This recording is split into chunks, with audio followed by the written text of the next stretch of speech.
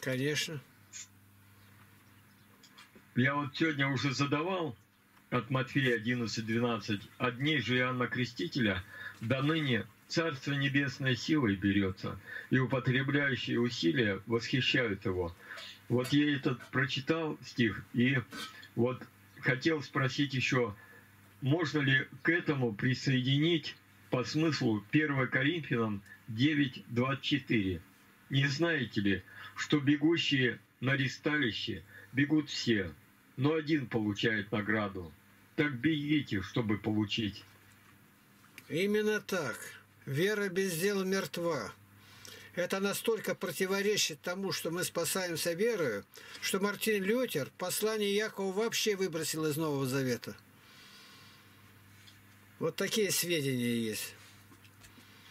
Все, что мы делаем, делать должны по полной программе, на сто процентов отдавая себя, усилием, а не сонным. Приучи вставать раньше. А дальше, дальше делай так, как Господь тебе покажет. Что самое ценное для Бога? Это жизнь, святость, заповеди Его святые. То есть заповеди Его, говорит, не тяжкие.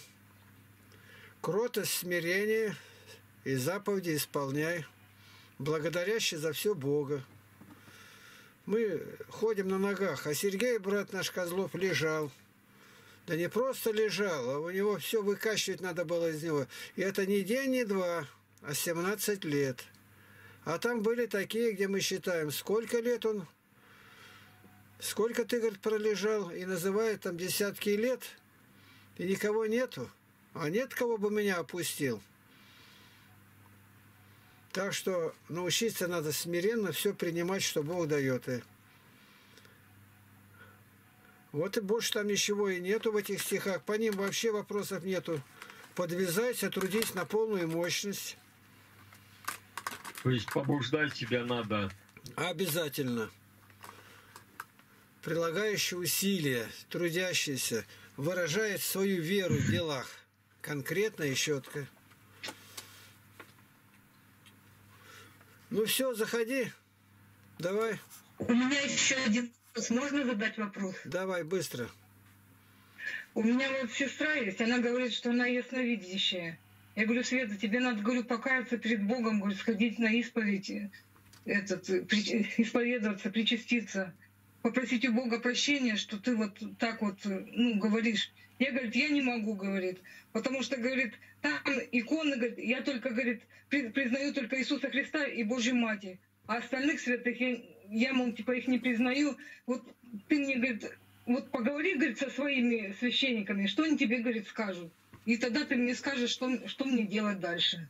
Ну что она не признает? В чем это выражается? Пусть не признает только делов-то. Дальше-то что? Ну, то, что она в церковь, я в церковь не могу, говорит, ходить. Это самое, зачем я буду этому по Делимону молиться, или там Матрона, или еще там кто-то вот, ну, вот эти а вот этого церкви. никто не заставляет. Она пускай не выдумывает. Никто не заставляет. Я Матроне не молюсь, и что из этого?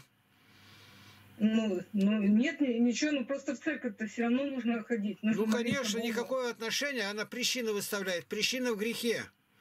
Она не признает, mm-hmm. то есть они святые, а я их не признаю.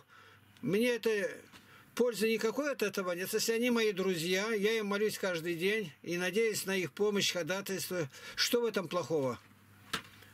А что Ну это да, так? просто Что это так? Как говорится, что приступили к духам праведников, достигшим совершенства, послание евреям 12 глава. Ну и все. Значит, мы приступили, и они знают, что делается на земле. 6-9, апокалипсис. Так, все. Спаси Христос. Выведите ее на меня, мы с ней побеседуем. Хорошо, спаси Христос. С Богом.